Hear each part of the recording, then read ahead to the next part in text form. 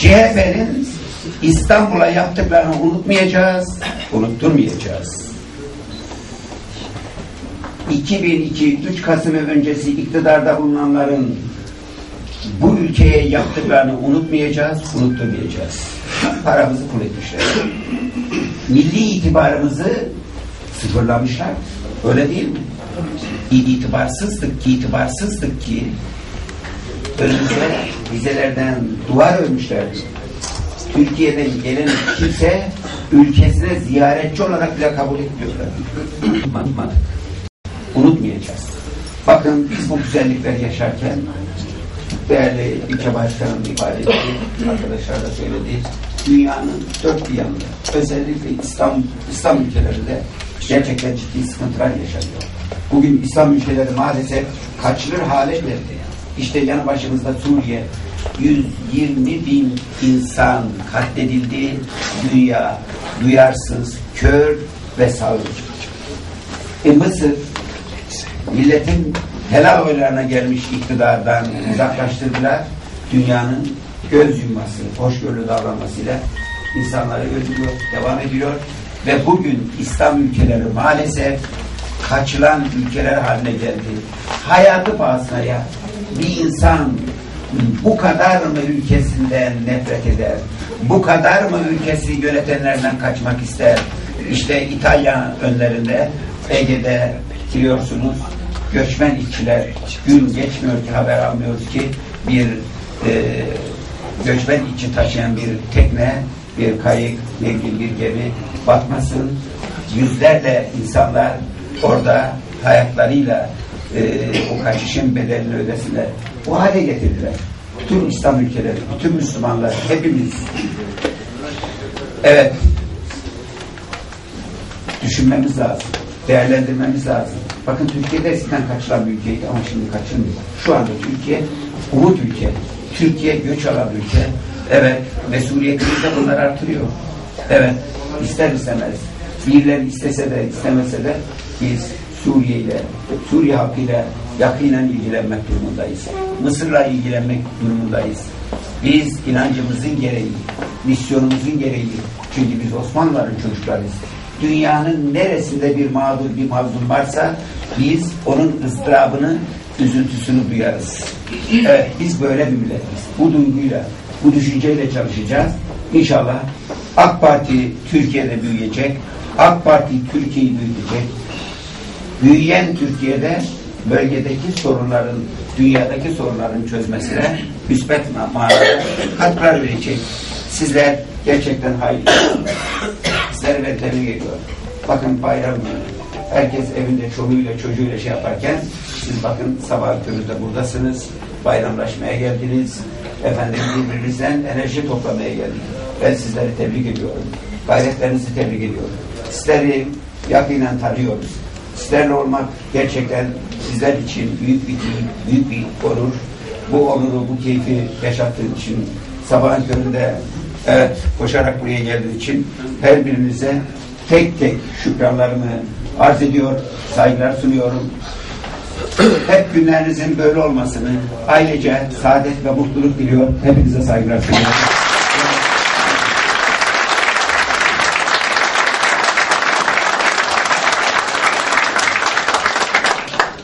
Adınıza ilçe başkanımızın elini sıkarak ben Allah'a ısmarladık diyorum. Çünkü saat 11'de e, Sarıyer'de olmamız lazım. Vaktimiz elverişli olan da daha çok arkadaşlarla bir yere gelip bu duygularla müsaadenizle ayrılıyorum. Allah'a ısmarladık. Ben başkanımı gönderiyorum. Bayramlaşmaya başlayacağız. Vekillerimiz burada. Hemen gelin. Hocam da gidiyor. Sen kal burada. Ben yolcu ederim. Tabii yolculuk gerek. Tamam hadi bakalım. Ayıptır ya. Hocam Erdem. Abi şöyle size. Çok emeğin var onun için. Evet, aleykümselam.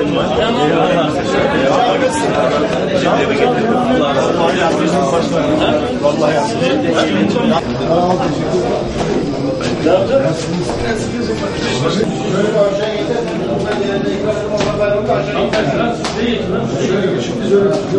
Belediye başkanı nerede?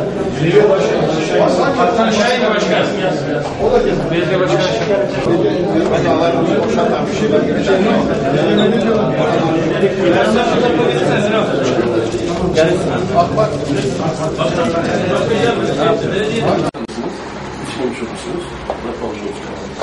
Seferdeyiz. Evde bulduk kahvaltı yaparız. Akçesini de alır. Ne olur olmaz. Ne? Sabah kahvaltısına gece 12'ye eve gittim. Çok olmuştu geçen olmaz. Kahvaltı yapmayı unuttuğunuz oldu mu başkanım? Ne? Kahvaltı yapmayı. Yok. Kahvaltı yaparım. Çünkü kahvaltı yapmazsan doktorlar da söylüyor. Sağlam bir kahvaltı. Kahvaltıdan biraz daha söyle. En hafif akşam. Bizde tam tersi. En ağır yemek akşam. Kahvaltı yapsam olur, yapmasam olur. Öyle de zaten şeyler şey yapıyor. Diyor nereye başkanım? Sabah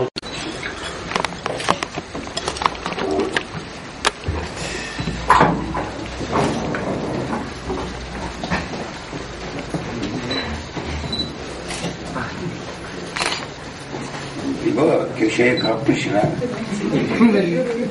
Ama Murat, Murat Bey ayırmışlar orayı. He? Başkan ayırmışlar orayı. başkana yerini verir başkanım. Bir tek başkana verir, bir de bana verir. Başkanım, ha bak. Beni oturtturmadı oraya. Arkaya. Ben geleyim? Otur. Buraya. Kim geldi? Bak. Buradan tut.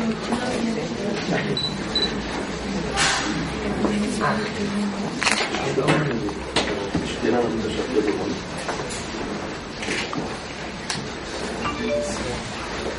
Ederim. Evet, Sarı imza verir başkanım. Bundan sonra Yani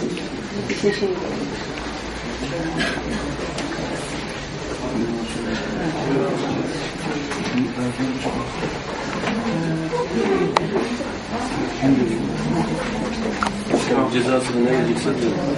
Başkanım.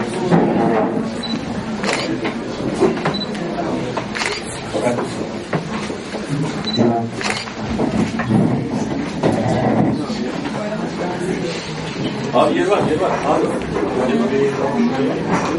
Sefer abi. Devamlı Devamlı gelecek Devamlı sandalye yok. Başkan burası yok. Ya olur. Ben de Başkanım siz on buçukta gelirseniz sadece onda çekerim ya. Ben mesela üç kere. Şuradan ne yazmışsın? Arkadaşlar da geliyor.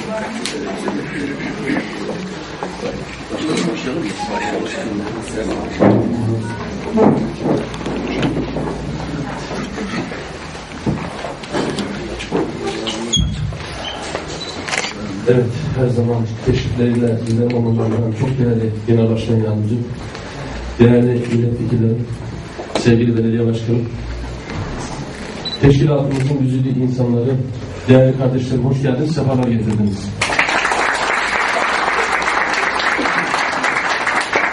Allah'a şükrediyoruz. Yine bizi bir bayramda bir araya getirdi. Allah'a hamdolsun ki hep beraberiz, bir aradayız. Allah'ın bize lütfettiği en önemli iki gününden birini yaşıyoruz bugün. Kardeşliğin doğruğa çıktığı bayramlaşma. Dargınlıkların bittiği, sevginin, kardeşliğin, dostluğun zirveye çıktığı bir gün bugün. Yine beraberiz.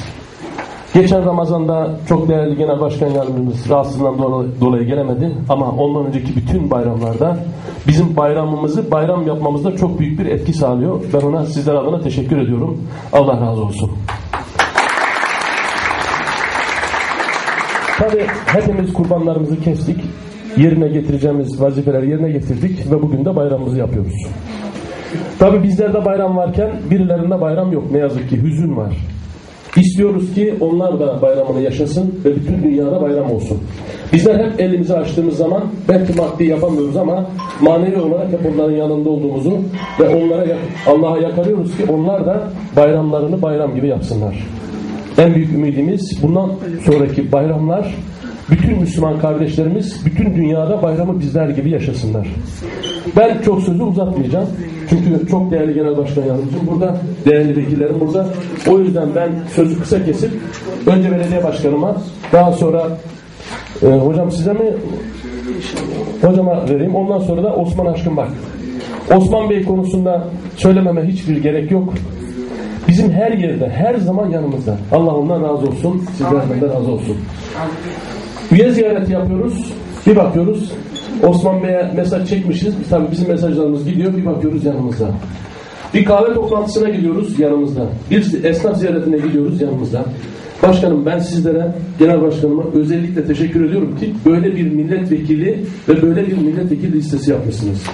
Hocam aynı şekilde mümkün olduğu kadar gelmeye çalışıyor. Bütün teşkilat burada. Onlar burada oldukça, onlar bizlerle oldukça, onlar bu teşkilatın yanında oldukça bizim çalışmamız, enerjimiz ve heyecanımız zirveye çıkıyor. Çalışmalarımız biraz daha artıyor. Ben tekrar teşviklerinden dolayı onlara da çok teşekkür ediyorum. Değerli belediye başkanıma mikrofonu vermek istiyorum. Hepiniz tekrar hoş geldiniz, sefalar getirdiniz. Hepinize saygılar, sunuyorum. Saygılar sunuyorum. Saygıdeğer Genel Başkan Yardımcım, değerli milletvekillerim, ilçe başkanım, teşkilat mensubu arkadaşlarım, sevgili kardeşlerim, hepinizi saygıyla, muhabbetle selamlıyorum. Hayırlı bayramlar diliyorum. Rabbim tekrarına inşallah birlik, beraberlik, sağlık, saat içerisinde kavuştursun. Bugün Genel Başkan Yardımcımız birçok bayramda, hemen hemen bütün bayramlarda bizlerle olduğu gibi yine bizlerle, vekillerimiz bizlerle. Ben onun için fazla vaktinizi almak istemiyorum. Saat 12'de belediyemizde bayramlaşma olacak. Müsait olan kardeşlerimizi de bekliyorum. Hepinizi saygıyla, muhabbetle selamlıyorum. Saat 3'te de saat 3'te de ilde bayramlaşmamız var. İnşallah müsait olan kardeşlerimizi de oraya bekliyoruz. Hepinize hayırlı bayramlar diliyorum. Rabbim tekrarına inşallah kavuştursun hepinize. Allah'a emanet olun. Sayın Vekilim, hocam size vereyim isterseniz. Buyurun hocam.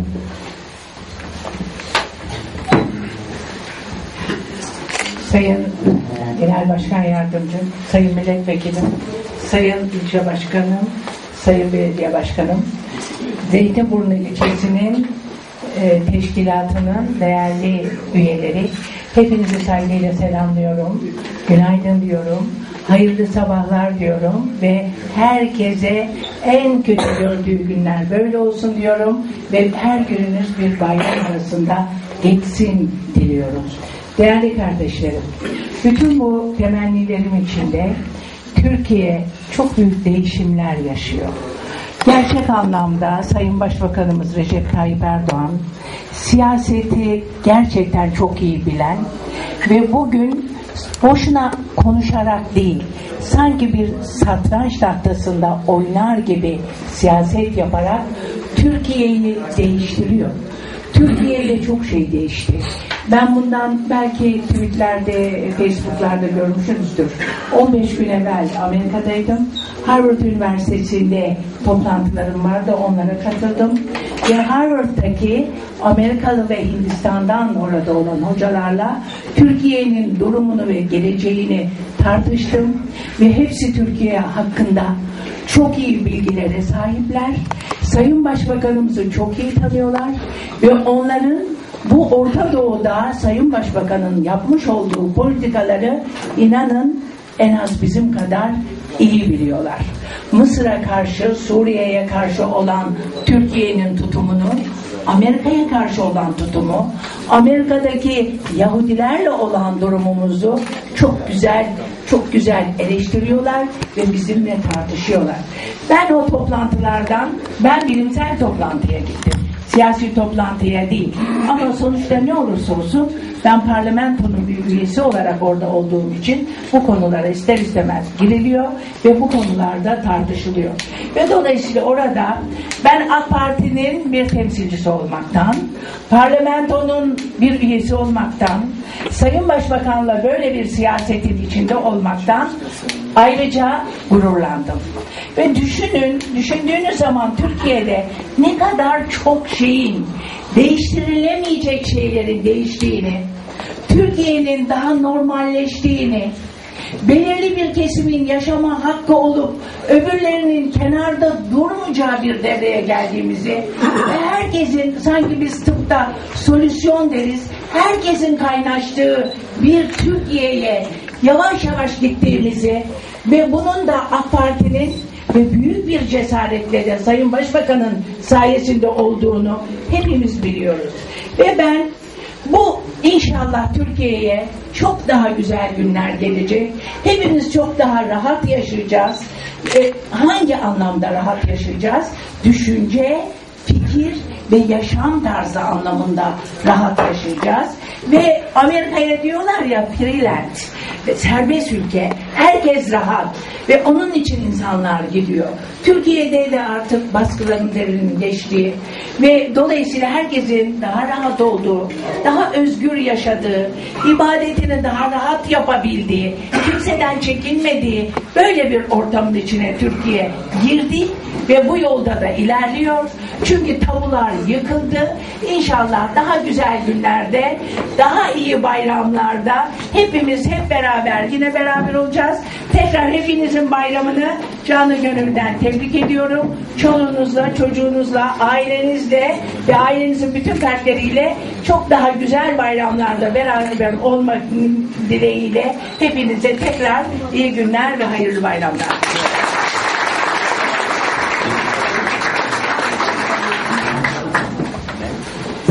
Çok değerli hocam, sayın vekilime çok teşekkür ediyorum. Allah razı olsun. Ağzına sağlık. Evet, il sorumlumuz hocam. Benden de geç gelenler var söyleyeyim. Başkanım. İl sorumlumuz, e, ben dedim Ekrem abi erken gelecek başkanımız. O dedi ki ben e, bir yerdeydi, yetişeceğim başkanım dedi. Sağ olsun. İl, il yönetim kurulu eski sorumlumuz, sevgili kardeşimiz Şevki Bey'le beraber bizlere e, ziyarete geldiler ve bayramlaşmaya geldiler. Tekrar hoş geldiniz diyorum. Şimdi mikrofonu eğer arzu ederseniz şey, Yıldız Bey, Yıldız Bey'e vermek istiyorum. Çok kıymetli Genel Başkan Yardımcım, değerli milletvekilim, değerli milletvekillerim, belediye başkanım, ilçe başkanım, değerli dostlar. Hepinizin bayramını tebrik ediyorum. En fazla ihtiyaç duyduğumuz bugünlerde, birlik ve beraberliğe ihtiyaç duyduğumuz bugünlerde inşallah bu bayram, bayram ve bayramlaşmamızın Zeytinburnu'nda, İstanbul'da ve tüm Türkiye'de hayırlar getirmesini temenni ediyorum. İnşallah birlik ve beraberliğimizin de e, devamına vesile olur diyorum. E, tekrar bayramınızı tebrik ediyorum. Sağ olun, var olun. Şahin Bey hoş geldin. Hoş Şöyle alalım sen şöyle bak.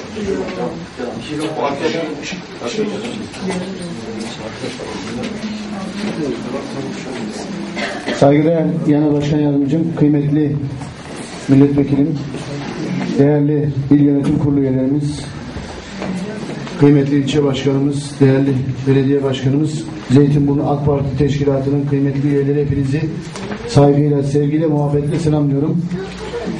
Hepinizin Kurban Bayramı'nı tebrik ediyorum. Rabbim kestiğiniz kurbanları, yaptığınız hayırları, hasanatları kabul etsin. Tabii Zeytinburnu Teşkilatı ile birlikte sahada çalışıyoruz. Sizlerle çeşitli organizasyonlarda bir araya geliyoruz. Önümüzdeki süreçte Zeytinburnu'nda çok daha fazla çalışmamız gerektiğini ifade etmek istiyorum. Çünkü ben de cum, e, pazar günü yurt dışında toplantıdan döndüm NATO toplantısında. Orada tartışılan konu Suriye, Mısır ve Orta Doğu. Orta Doğu'da Türkiye'nin konumu. Herkes bir oyun içerisinde Türkiye'nin bu oyunda Türkiye'yi ve özellikle de hedef olarak Sayın Başbakanımızı alt etmeye ve onu ve ülkemizi sıkıntıya sokmaya yönelik pek pek çok planlar konuşuluyor. Tabii biz o toplantılarda bunların böyle olmadığını ifade edip anlatıyoruz. Ama şunu da unutmamamız lazım. Burada bu oyunları bozacak tek şey AK Parti teşkilat. Bu teşkilat. Onlara en iyi cevabı biz belediye başkanlığı seçimlerinde ve cumhurbaşkanlığı seçimlerinde vereceğiz. Bizim yapmamız gereken bu. Bir söz vardır biliyorsunuz. Zor oyunu bozar. İşte bu oyunu AK Parti teşkilatı bozar. Recep Tayyip Erdoğan bozar.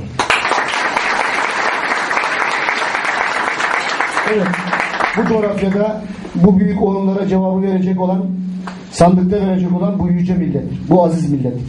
Burada da teşkilatlarımıza, Zeytinburnu bazında Zeytinburnu teşkilatımıza, İstanbul bazında İstanbul teşkilatımıza ve Türkiye bazında da AK Parti teşkilatlarına çok ama çok büyük görev düşüyor. Birbirimizi Allah için sevmeliyiz. Birbirimize daha sıkı sarılmalıyız. Tek yürek olmalıyız ve sandıkları patlatmalıyız. Birinci cevabı belediye başkanlığı seçimlerinde vereceğiz. İkinci cevabı da Cumhurbaşkanlığı seçimlerinde vereceğiz ve tüm dünyaya şunu söyleyeceğiz. AK Parti dimdik Ta- Tayyip Erdoğan'ın yanında, arkasında ve bu millet ileriye doğru yürüyecek. Bu cevapları verecek, vereceğiz. İşte bu duygu ve düşünceler içerisinde AK Parti'ye, teşkilatımıza, insanımıza sahip çıkmamız gerekiyor. Kapı kapı dolaşmamız gerekiyor. Herkese dokunmamız gerekiyor. Ne olursa olsun doğruyu, güzeli anlatmamız gerekiyor. Birbirimizi başbakanımızın da ifade ettiği gibi Allah için sevmemiz gerekiyor. Çünkü bu süreç çok ama çok önemli bir süreç. Değerli Genel Başkanımız diğer gündemdeki konular hakkında size e, bilgiler aktaracaktır. Ben Zeytinburnu Teşkilatı'nı ve sizleri Allah için çok seviyorum. Sizlerle birlikte çalışmaktan büyük, büyük gurur ve onur duyuyorum. Ve hepinizin bayramını tekrar canlı gönülden tebrik ediyorum. Değerli il başkanımız, ilçe başkanımızın da ifade ettiği gibi bir bayramlaşmada yine birlikteyiz. Ben bir bayram hariç e, bu dönem hemen her bayrama Zeytinburnu'dan başladık. Bu da tabii değerli ilçe başkanımızın e, program anlayışından, yaklaşımlarından kaynaklanıyor. Çünkü şu anda en erken program, en erken bayramlaşma İstanbul'da, Zeytinburnu'da şu anda hiçbir ilçede şu saatte bayramlaşma yok. Ee, ondan dolayı da Bahattin ben tebrik ediyorum. Dolayısıyla Besmele'yi buradan çekiyoruz. Şimdi inşallah buradan müsaadenizle Sarıyer'e geçeceğim. Biz her şeyden önce gerçekten uyumu esas alan, muhabbete esas alan, birbirine sevgiyle bakan bir teşkilatız. Bunu da burada görüyoruz. Devamını diliyorum. Yine teşkilatımızın kendi içerisinde uyumu da çok önemsiyoruz. Bundan dolayı biz tek listeli kongreler yaptık. Tabii birileri bunu anlamadı, tetkik etti. Tek liste derken de biz dayatmada yapmadık. Orada seçime gitse, yarışırsa ihtik göğüsleyecek arkadaşımıza destek verelim. Harçalı bir yapıya fırsat vermedik. Bunun da şimdi bir seçime giderken, doğrusunu söylerken, söylemek gerekirse keyfini sürüyoruz. Yani teşkilatlarımızda müthiş bir birlik var. Şimdi bir şey daha yapıyoruz. Bunu da bugün burada sizlerle paylaşma keyfini yaşayayım. Evet, teşkilatlardan istifa beklemiyoruz. ne belediye başkan adaylığı için ne de, de belediye meclis üyeliği için. Ama ne yapıyoruz? Düşünen arkadaşlarımız teşkilat tarafından tespit ediliyor. Onları biliyoruz. Bu ne demektir? Kimse istifa ederek açıkta kalsın istemiyoruz. Ne teşkilatlar çöksün ne de gönlünde belediye meclisiyeliği, il başkanlığı, ilçe başkanlığı, belediye meclisiyeliği her ne yatıyorsa biz onu bilelim. Günü geldiğinde imkanlar el verdiğinde işaretimizi zaten yaparız. Şimdi düşün ki ilçe teşkilatı e, 30 kişi. Bu 30'un 15'i belediye meclisiyeliği için istifa ettiği zaman Zeytinburnu teşkilatı çöker. Ama bizim en çok teşkilata ne zaman ihtiyacımız var? Seçimlerde. Ne yapacağız şimdi biz? Bu düşünen arkadaşlarımızı Bahattin Bey biliyor. Onlar da tespit edecek. Önce ki ayın 27'si 28'inde İstanbul Büyükşehir ve ilçe belediyelerine yönelik bir çalışma yapacağız. Kimi belediye başkanı görmek istiyorsunuz? Bir temel yoklaması yapacak. Teşkilatımızın bakışını alacağız. Kamuoyu yoklamalarını zaten izliyor, gözlüyoruz. Kamuoyu yoklamalarıyla teşkilat örtüştüğü zaman efendim e, yaptıklarını da mevcut belediye başkanları için söylüyoruz. Tereddütümüz yoksa ilan edip geçeceğiz. Peki belediyesi liste olmayan yerlerde bu işi en iyi yapacak kimse. Bu ilçe başkanımızdır, ilçe yönetim kurulu üyesidir, bürokrattır. her kim ise önce zaten ittifak arıyoruz ya. E bunu da görünce herkesin alkışlayacağı bir tabloyla. E tabii bu arada da e şimdi belediye meclis düşününce neye bakacağız? Bir kere diyelim ki Zeytinburnu'ysa mahalle mahalle bir temsiline bakacağız. E neye bakacağız? Burası, buranın demografik yapısına bakacağız. Neye bakacağız? Meslek gruplarına bakacağız. Yani yani seçildikten sonra ya işte filan bütçe komisyonuna bir adam bulamadık, şuraya bir adam bulamadık değil, çeşitli özelliklerdir. Niye bakacağız? E, belediye başkan yardımcılığı yapacak çaptaki insanları yapacak. Teşkilatın da yaklaşımı. Teşkilattan biz böyle bir şey aldığımız için bir farklı bir şey daha yaparak bu seçimde evet 30 Aralık akşamı evet bir bayram daha yapmak istiyoruz. Demokrasi bayramı yapmak istiyoruz. Çünkü Türkiye'de gerçekten demokrasiden rahatsız olanlar, demokrasiden sandığından umudunu kesenler başka beklentiler içerisinde, başka organizelerin içerisinde evet bu millet sandığına sahip çıkarak onlara en iyi dersi verecek. Biz hemen her bayramda Allah'a şükürler olsun güzellikler yaşadık. Yani AK Parti'nin iktidarda olduğu dönemde her bayram bayram olarak daha güçlü, daha güzel olduğu bayramın ruhuna uygun bayramlar yaşadık. Bugün huzurluyuz, mutluyuz. Gerçekten Türkiye'de Kurban Bayramı bayram gibi yaşanıyor. Geçmişte Kurban Bayramı'nda bir sürü sıkıntılar yaşadık. Her şeyden önce bir post kavgamız vardı değil mi? Post kavgası ya. Kurban kesen adama postuna sahip olma hakkını vermiyoruz. Yok şuraya vereceksin, buraya vereceksin. Bu Türkiye'nin utancıydı. Bugün artık o utanç geride kaldı. Böyle şey olur mu ya? Şuraya vereceksin, buraya vereceksin. Ve bunu da çağdaşlık adına yapıyorlardı. İnsanların özgürlük alanlarına müdahale ediyordu. Şimdi bu demokrasi paketiyle birlikte artık bu da tarihe karşı. Bakın Türkiye'deki sorunlar, problemlerin çoğu sonradan üretilme, üretilmiş problemler ya. Yani bu millete yapılabilecek en büyük kötülükleri oturmuşlar, ülkeyi yönetenler, bu ülke üzerine mühendislik yapanlar, şunu yaparsak millet kanlı bıçaklı olur demişler. Şunu yaparsak millet birbirine tebessüm değil, kızgın bakışlarla, kaşlarını gererekle bakar demişler. Ona göre bir sürü problemler üretmişler. E, Alevi'ye yönelik problemler var. Kürtlere yönelik problemler var.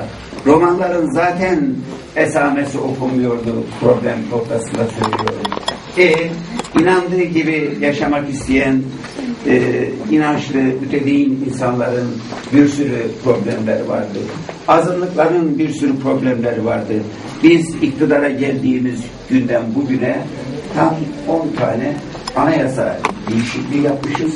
Bu değişikliklerin tamamı da bu problemleri peyderpey ortadan kaldırmak efendim halkımızın devletine bağlılığını aidiyetini, bu topraklara aidiyetini kuvvetlendirecek bir takım düzenlemeler yapıldı ve her yapılana da maalesef bu sonradan üretilmiş sorunlardan nemalanan siyasi projesi olmayan tek şeyi istismar konularını kullanarak siyaset yapanlar. Bir kere hemen her zaman siyasetin gündemini bu tür üretilmiş problemler. İşte bunlardan bir tanesi de başörtüsüydü. Yıllardır özellikle darbeler döneminde tahkim edilerek zorlama yönetmenliklerle yasalara ay aykırı yönetmenliklerle ben kendimi bildim bileli bu başörtü meselesi vardır. Görevimiz gereği siyasette bulunduğum için de başörtüsü aslında yasa yok bu ülkede ama zorlama fiili bir durum fiili yasalara aykırı yönetmelikler yaparak yargı üzerinde baskı oluşturarak bugüne kadar devam ettirilmiş. Gayet açık. Yani siz bir öğrenciyi okula sokmadığınız zaman kılından kıyafetinden dolayı kim sokmuyorsa ister idari amir, valiydi, kaymakamdı, emniyet müdürü, polisti, üniversitedeki e, idareciler, hocalar, kim? Ama kim engelliyorsa evet cezai müeyyideler olmasına rağmen bugüne kadar uygulanmadı, zorbalık yapıldı ve başörtüsünden dolayı hep bir problemi yaşadık. E şimdi geldiğimiz noktada artık Allah'a şükürler olsun eğitim noktasında bütün engeller kaldırıldığı gibi çalışma noktasında da eğitimler kal- e, engeller kaldırıldı. Peki bu bayramı daha anlamlı yapan önemli şeylerden bir tanesi bu yeni paketteki e, şeye yönelik e, örtüye yönelik, kılığa kıyafete yönelik bu düzenlemenin, bu engellerin, bu başörtüsü engelinin kaldırması bu bayramı daha anlama hale getirmedim. Toplumun tamamına yaklanır. Yüzde yirmişi böyle bir problemi görmek istemediğini zaten kamuoyu yoklamalarında hep gösterdiler. Dolayısıyla şimdi bu engeli kaldırdık. Artık öğrencimiz okulda rahat, öğretmenimiz rahat, doktorumuz rahat. Nasıl giymek istiyorsa, nasıl kapanmak istiyorsa hak onudur ve dolayısıyla bu bayramı bayram yapan önemli güzelliklerimizden üretilmiş bir problemi daha ortadan kaldırmış olarak önümüze gel- Ee, ana dile yönelik bir takım engeller kalkıyor. İşte hep istismar edilen bakın Türkiye'de başarısızlığın iktidarda bulunanların iktidarda başarısızlıkların en temel meselelerinden bir tanesi sorun çözmek için değil daha önce üretilmiş sorunları istismar ederek ya da sorunlara yeni sorunlar kata kata kata hep seçimlerde konuşmalar yapıldı. Bu sorunların hiçbirisi çözülmediği için gibi yeni sorunlar üretildi. Ama AK Parti iktidarı bundan farklı olarak hangi sorun varsa sorun ne kadar zor olursa olsun yeri gelirse kaldıran zehri içmek pahasına da bu sorunların üzerinin üstesinden gele gele çöze çöze geliyoruz Allah şükür olsun. Tabii en büyük gücümüz halkımız, sizsiniz, teşkilatımızın buradaki samimi yaklaşımıdır. AK Parti teşkilatı evet Türkiye'deki gelişmenin, Türkiye'deki demokratikleşmenin en e, samimi savuncuları ve siz bu Türkiye'nin evet geleceğinin garantisisiniz. Dolayısıyla bu duyguda da sizlere ayrıca da tebrik ediyorum. Gayretlerinizin de devamını diliyorum. Teşekkür ediyorum.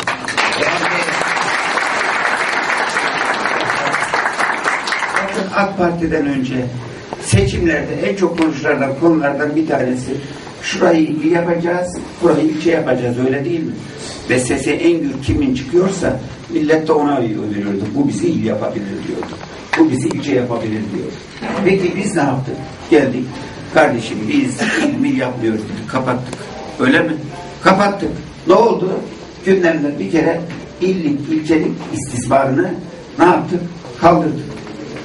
Ve yine her ilin, her ilçenin bir takım problemleri vardır. Efendim ya bir yoldur, ya bir sanayi sitesidir. Oranın katmerli problemleri var. İşte İstanbul'da da birçok ilçelerin ülkeye sorunları hep konuşulmuştur ama hiç çözülmemiştir. Ama bugün bunlar çözüme kavuştuysa AK Parti sayesinde. Çünkü biz istismar siyaseti değil, biz halkı kandırma siyaseti değil, biz hizmet siyaseti yapıyoruz.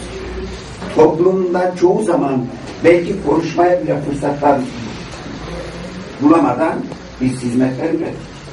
Üretmeye de devam ediyoruz. Bakın önümüzde 29 Ekim var. 29 Ekim Cumhuriyetimizin ilanının bir dönümü. Ama önemli bir güzelliği daha yaşayacağız. Bunların bir kere bir tanesi e, kıtaları birbirine bağlayan, boğazın altından efendim raylı sistem, asrın projesi. Bakın bunları hiç kimse konuşmadı.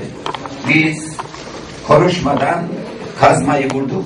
Şimdi artık hizmete sunacağız. İstanbul'daki temel problemlerden birisi olan, önemli problemlerden bir tanesi olan ulaşım problemini de ne yapıyoruz? Böylece belli bir noktada çözüme kavuşuyoruz. Çünkü İstanbul büyümeye devam ediyor. Bununla da çözülmedi. Onun için üçüncü köprü. Onun için Marmaray biliyorsunuz raylı. Şimdi bir de lastiklinin de e, devamı olacak. Lastikli olarak da e, geçecek. E, dolayısıyla e, İstanbul ulaşımına yönelik İstanbul halkını ulaşımdan bezdiren güçleyi önlemek için birçok projelerimiz ya başladı ya başlamaya devam ediyor. Gerçekten ülkede güzel şeyler yapıyor. Güzel şeyler olduğu için de AK Parti hemen her seçimde büyümeye devam etti. 38'den, 34'ten başladık. 2002-3 Kasım'ın 34'tü. Şimdi geldiğimiz nokta yüzde 50 kamuoyu yoklamaları da yüzde 50'nin üzerinde. Evet, millet de yapılanları görüyor. Konuşmaya bakmıyor. Neye bakıyor? İcraata bakıyor. Eğer konuşmaya bakmış olsaydı milletvekili seçiminde hatırlarsanız Kılıçdaroğlu vaat etmediği hiçbir şey kalmadı. Gökteki yıldızları da va- vaat etti. Birçok vaatler yaptı ama bu tutmadı. Çünkü daha önceki vaat edenleri millet iyi biliyor. Hani bir anahtar vereceğiz deyip de anahtarlıkları bile elimizden alan siyaseti unutmadı değil mi? Unutmadığı için de millet vaatlere değil icraata bakıyor. Ve hizmet etmeye devam ediyor. Bakın şimdi demokratikleşme paketiyle ilgili hemen itirazlar başladı. Herkes itiraz ediyor. MHP efendim Türkiye'yi göreceksiniz. Efendim bunlar zaten şu ana kadar açılan bütün paketlerde aynı klasik ülkeye zarar veriyorsunuz, ülkeyi bölüyorsunuz. Ya şu ana kadar biz 10 tane anayasa değişikliği yaptık. Bundan Türkiye zarar mı gördü? Yoksa Türkiye bundan karlı olarak mı çıktı? Soruyorum size. Karlı çıkmadık mı? Eğer o paketler olmamış olsaydı 12 Eylül 2000 2010'daki anayasa değişikliği olmamış olsaydı şu anda Türkiye bu noktada değildi. Belki bir Mısır'dı, belki bir Suriye'ydi. Allah korusun. Böyle, dolayısıyla gerçekten her yapına bunlar istemezlik diye yaklaşıyor. tamam, MHP böleceksiniz diyor. Öbür taraftan karşı tarafta olan BDP o da aynı şekilde. Aynı şekilde MHP'den farklı yaklaşmıyor ki. CHP ne diyor? Biz bunu daha önce düşünmüştük diyor. İyi düşündüyseniz bunu yapalım dediğin zaman yine başlıyor. Neye? Mısıklanmayın. Ya hani düşünmüştünüz? Sizin teklifinizde ne güzel. Sizin teklifinizi biz bugün artık paket olarak iktidar partisi olarak getirip önümüze, önümüze koymuşuz. Niye destek vermiyor da mızıklanıyorsunuz? Niye? Hatırlarsanız 12 Eylül 2010'daki e, halk oylaması öncesi partilerin kapatılmasıyla ilgili bir madde vardı. Bu madde reddedildi. Kim tarafından reddedildi? Partisinin en çok kapatıldığını söyleyen BDP. Niye? E BDP'leri de istismar konularından birisini alıyoruz. Bugün işte özel okullarda ana dilde eğitimi getiriyorsun. Buna kim karşı çıkıyor? BDP. Niye karşı çıkıyor? Çünkü bunların siyaseti istismar üzere istismar edecekleri konular ne yapıyor? Ellerinden alınıyor. E aynı şekilde bugün gerçekten Türkiye bu büyümeye devam ederse bölünme korkuları ortadan kalkarsa bugün MHP'ye ihtiyaç olur. Onlar da bunun için istemiyorlar. Evet birçok istismar konular ortadan kalktı. İşte bugün MHP en çok gençlerle ilgilendiğini, en çok gençliğe sahip olduğunu iddia eder. Gençlik hareketi olduğunu iddia eder. Ama gençlere yönelik düzenlemeler geldiği zaman ilk karşı duran kimdir? MHP'dir.